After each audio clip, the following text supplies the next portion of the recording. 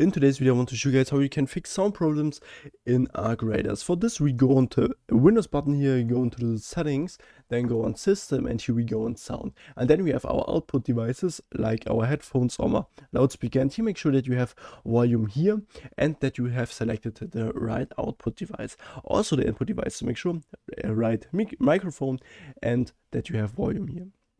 What you also can do is you can do troubleshoots from Windows or for like output devices or input devices. So this is also really, really helpful sometimes.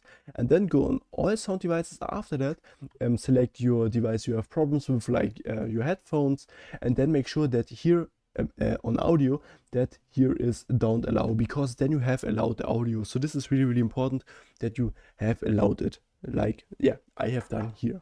So go back, go on sound again and then we go on volume mix. And here make sure that you have yeah volume.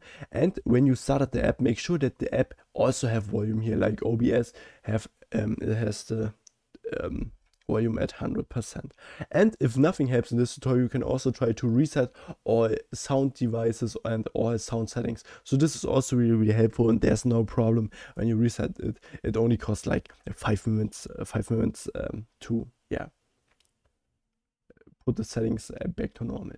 So, and then go to the search bar and here we look for the device manager. And in the device manager we have like audio inputs and outputs. Click on the arrow on the left here and sound video and game controllers. And what we want to do here right click on it update driver search or make for drivers and here we have already installed the bus driver.